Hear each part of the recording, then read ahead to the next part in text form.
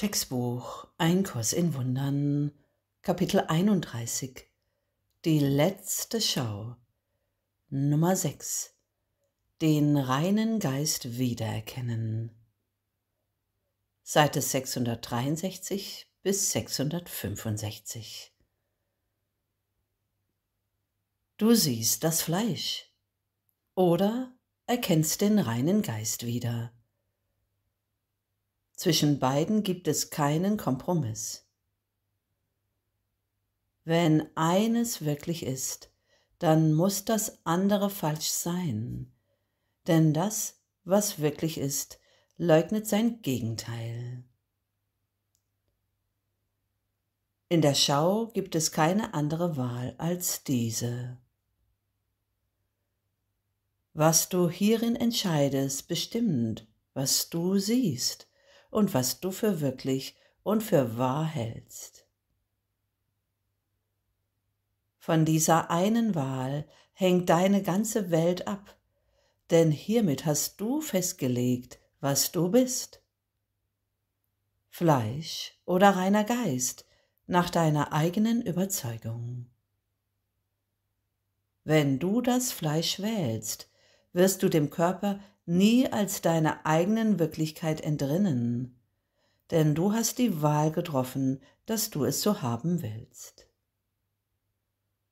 Wähle jedoch den reinen Geist, dann neigt der ganze Himmel sich herab, um deine Augen zu berühren und deine heilige Sicht zu segnen, auf dass du die Welt des Fleisches nicht mehr sehen mögest, außer um zu heilen, zu trösten und zu segnen.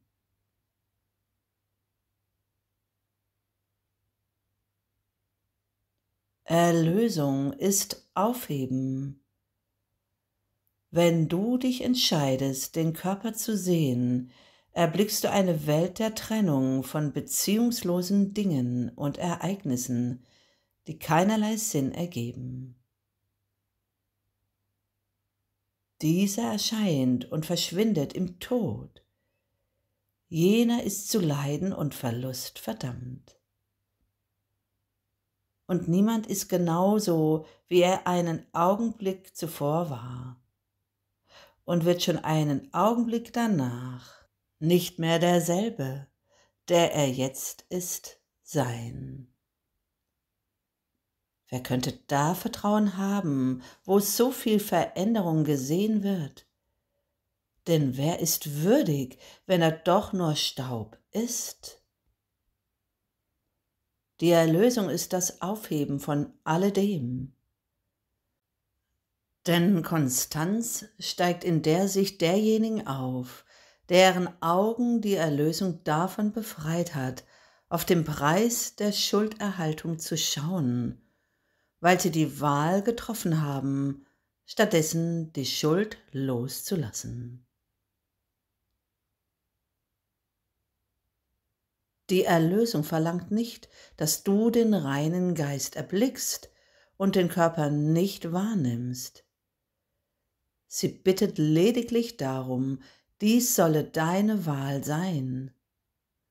Denn du kannst den Körper ohne Hilfe sehen, doch du verstehst nicht, wie du eine von ihm unabhängige Welt erblicken kannst. Es ist deine Welt, welche die Erlösung aufheben wird, und sie wird dich eine andere Welt erblicken lassen, die deine Augen niemals finden könnten. Kümmere dich nicht darum, wie dies jemals sein könnte. Du verstehst nicht, wie das, was du siehst, erstand um deiner Sicht zu begegnen. Verstündest du es, wäre es vergangen. Der Schleier der Unwissenheit ist vor dem Bösen und dem Guten vorgezogen und muss durchschritten werden, damit beides verschwinden möge, so dass die Wahrnehmung kein Versteck mehr findet. Wie wird das getan? Es wird gar nicht getan. Was könnte es im Universum geben, das Gott erschaffen hat, was noch getan werden müsste? Nur in der Arroganz könntest du dir vorstellen, dass du den Weg zum Himmel ebnen musst. Die Mittel werden dir gegeben, durch die du die Welt sehen kannst, die diejenige ersetzen wird, die du gemacht hast. Dein Wille geschehe. Im Himmel wie auf Erden ist das ewig wahr. Es ist nicht von Belang, wo du zu sein glaubst, noch wovon du denkst, dass es wirklich die Wahrheit über dich sei. Es macht keinen Unterschied, auf was du schaust, noch was du zu fühlen, zu denken oder zu wünschen wählst. Denn Gott selber hat gesagt, dein Wille geschehe, und er geschieht dir dementsprechend. Du, der du glaubst, du könntest die Wahl treffen, den Sohn Gottes so zu sehen, wie du ihn haben möchtest. Vergiss nicht, dass kein Konzept deiner selbst der Wahrheit dessen, was du bist, je widerstehen wird. Die Wahrheit aufzuheben wäre unmöglich. Doch Konzepte sind nicht schwer zu ändern. Eine Schau, deutlich gesehen, die nicht zu dem Bild passt, wie es zuvor wahrgenommen wurde, wird die Welt für Augen ändern, die sehen lernen, weil sich das Konzept des Selbst verändert hat. Bist du unverletzlich?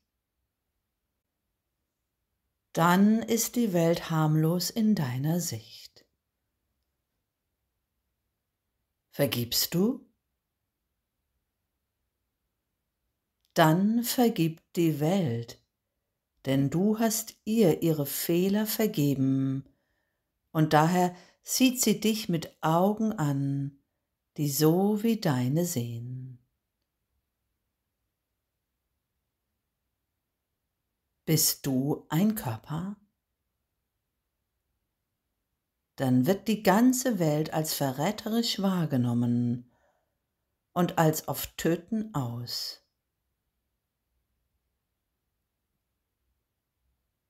Bist du reiner Geist? Todlos und ohne das Versprechen der Verwesung und das Sündenmal auf dir?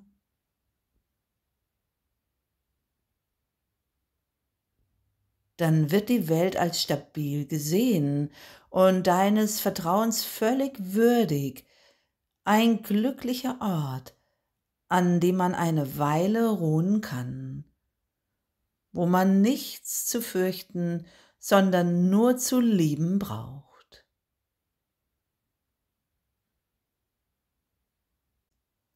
Wer ist denen unwillkommen, die guten Herzens sind? Und was könnte die wahrhaft Unschuldigen verletzen? Dein Wille geschehe, du heiliges Kind Gottes. Es ist nicht von Belang, ob du denkst, dass du auf Erden seist oder im Himmel. Was dein Vater von dir will, kann sich nie ändern.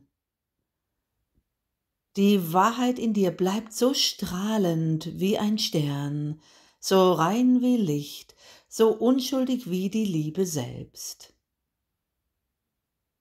Und du bist dessen würdig, dass dein Wille geschehe.